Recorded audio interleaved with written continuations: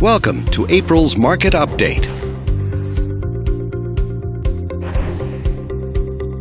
Let's take a look at residential real estate activity in your area during the month of March. The number of active listings was down 27% from one year earlier and down 2% from the previous month.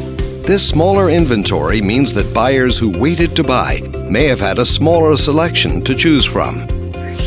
As you can see, the median listing price for the month was $280,000. Compared to last year, the average number of days that units spent on the market before being sold was up 7%. This higher number of days may signal a slowdown in the local inventory turnover rate.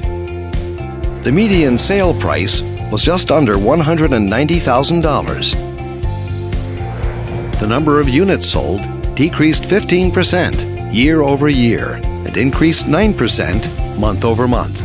Despite a slight annual decrease, this upward monthly sales trend indicates positive momentum. Thanks for watching.